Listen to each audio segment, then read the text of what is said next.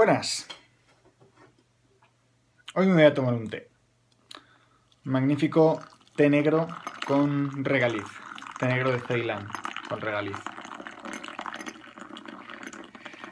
Acabo de tener hace, hace escasos minutos una, una discusión con un grupo de personas que aseguraban ellos que, que todas las bacterias eh, en los alimentos se morían con tan solo hervir el alimento, con tan solo alcanzar 100 grados ya se morían todos los patógenos. Esto es cierto a medias. Eh, es cierto que cualquier comida que te vayas a comer inmediatamente después de cocinar, eh, tienes un nivel de seguridad bastante alto de que si lo has servido no, no vas a tener ningún patógeno peligroso en la comida especialmente si, toda la, si todo el cuerpo de la comida ha alcanzado los 100 grados. Estrictamente hablando, con 70 grados eh, han muerto la mayor parte de los patógenos bacterianos. Y bueno, hay algunos patógenos, como por ejemplo los virus del marisco, que sí que tienes que alcanzar una temperatura ligeramente superior, superior a los 90 grados, de hecho.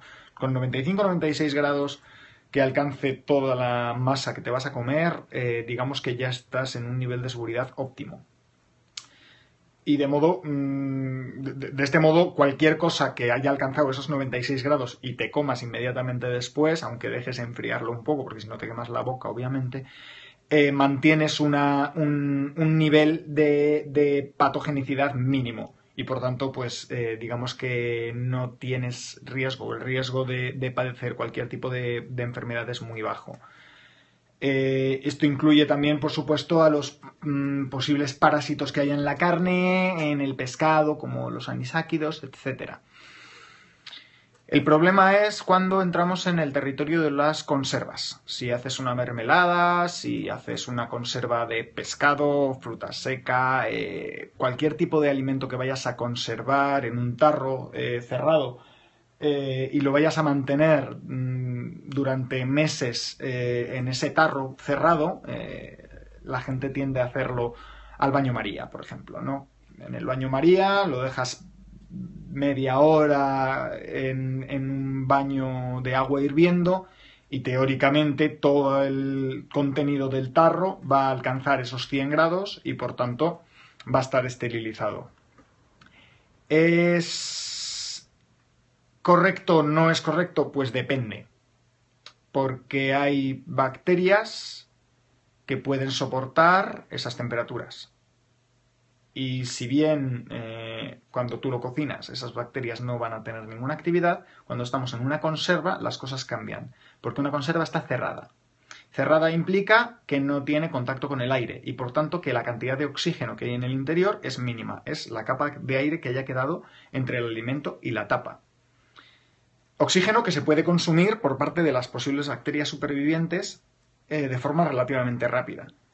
Por tanto, y que aparte solo está en, en, esa pequeña capa de aire, ¿no? El resto del alimento está en una condición sin oxígeno, anóxica. Y hay bacterias, como Clostridium botulinum, por ejemplo, que son resistentes a esas temperaturas de 100 grados. Aguantan los 100 grados.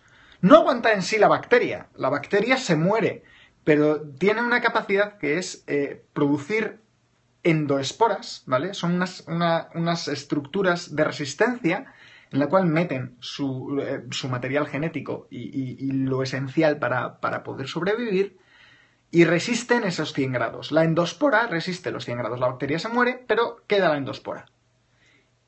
Y cuando la temperatura baja de los 100 grados,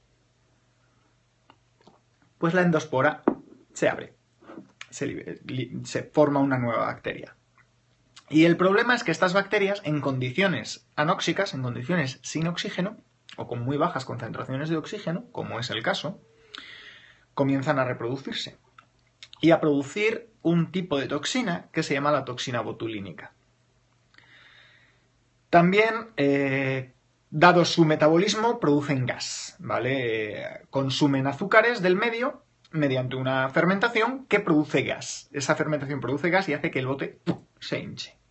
Normalmente si es un bote de vidrio, notaremos que la tapa se va a subir hacia arriba. Y si es una lata, la lata se va a hinchar. ¿vale? Pero no es necesario que suceda. Si el, si el, si el, mm, si el recipiente es lo suficientemente resistente como para aguantar el exceso de presión, no va a haber deformación y la toxina botulínica va a estar ahí. La toxina botulínica va a estar ahí con sus bacterias y si tú te tomas esa mermelada o esas anchoas en conserva, vas a tener un problema de salud grave. Grave, muy grave. Muy grave que te puedes morir. ¿Vale? Porque el botulismo puede llegar a ser mortal. Eh, ¿Qué hacemos para eso? Bueno, hay un método que es el autoclave. El autoclave eh, lo que hace es, básicamente, es el agua hirviendo, pero en vez de estar hirviendo en una atmósfera normal, está hirviendo en una atmósfera de mayor presión, ¿vale? Que la presión atmosférica, la presión atmosférica normal. Eh, un autoclave, al alcanzar mayor presión, el agua ya no hierve a 100 grados. El agua ya está hirviendo a una temperatura mayor. A lo mejor está hirviendo a 120, 122 grados centígrados. Eh, a esa temperatura, a 120, 121 grados y medio, me parece que es exactamente la, temperatura de autoclavado de una olla a presión doméstica, las esporas, las endosporas del Clostridium se destruyen. A esa temperatura no soportan, eh, las, las endosporas no lo soportan y se destruyen. Por lo tanto, a esa temperatura, al autoclave, metiéndolas en el autoclave, metiéndolas en una olla a presión y manteniéndolas bajo ebullición de una olla a presión durante cierto tiempo, 20 minutos, 30 minutos, bueno, depende del volumen del, tarro, porque hay que tener en cuenta que el calor tiene que llegar hasta el centro de la muestra. Entonces, si son tarros pequeños, necesitarás menos tiempo. Si es un tarro muy grande y muy voluminoso, necesitarás más tiempo para que ese, ese calor llegue al centro de la muestra. Eh, en esos casos, la esterilización es prácticamente completa. Estás destruyendo no solo las bacterias, sino también esas endosporas que nos pueden causar esos problemas de salud. Obviamente no existe la esterilización completa. Es posible que incluso en esas situaciones haya microorganismos que sean capaces de, de, soportar esas altísimas temperaturas y presión. Pero el nivel de seguridad aumenta mucho. De modo que no, no, o sea, eh, no es, no, sirve solo con hervir. Depende para la que lo vayas a utilizar. Para una comida en un momento dado en la cual, eh, eh, según salga de la cocina, te lo vas a comer, sí, sirve con hervir porque, como hemos dicho, Clostridium botulinum solo produce la toxina botulínica en, en situaciones de anoxia. Y para eso necesita que el alimento esté cerrado en un sitio. ¿Vale? Y que no haya oxígeno o que los niveles de oxígeno sean bajos. En un filete, tú te lo vas a comer, el filete está en contacto con la atmósfera. Clostridium no va a producir la toxina botulínica en esa situación. Además, necesita tiempo para ello, ¿vale? Si tú produces una mermelada hoy y te la comes pasado mañana, tampoco vas a tener ese problema.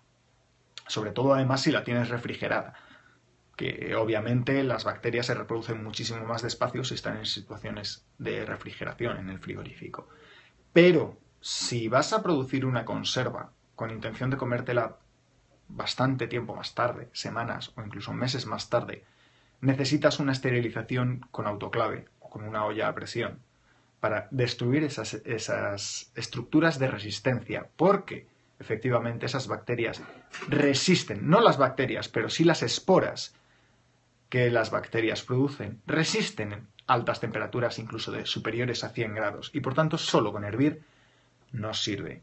Así que por favor, tened cuidado cuando vayáis a realizar una conserva de un alimento porque puede ser que tengáis problemas eh, a largo plazo. O sea, tomaoslo muy en serio. Mi recomendación es eh, que en este tipo de situaciones tengáis una formación de manipulación de alimentos mínima, ¿de acuerdo? En este aspecto, pues os recomendaría, por ejemplo, hablar con, Patricia G. Berruguete, eh, que os puedo... Eh, Adalil, eh, Seguridad Alimentaria, ¿vale? Desde aquí la mando un saludo. os voy a mencionar el, el, Twitter. Sí, exactamente, es arroba adalil-bajo. ¿De acuerdo? eh, os podéis poner en contacto con ella, que sabe muchísimo más de este tema que yo, obviamente, se dedica a ello. Es formadora y mm, ahí mismo podéis eh, preguntarle eh, cualquier duda que seguro que os la resuelve. Y hace cursos de manipulación de alimentos de forma más o menos frecuente a los cuales os podéis apuntar sin ningún problema. Son bastante baratos, asequibles, ¿vale? Yo hice un curso de manipulación de alimentos con ella y salí bastante contento. Eh, entonces, pues eso, eso es lo que os cuento. Tened cuidado cuando vayáis a hacer una conserva de alimentos porque no sirve solo con hervir. ¿De acuerdo? Hasta la próxima. ¿Cómo se detiene esto?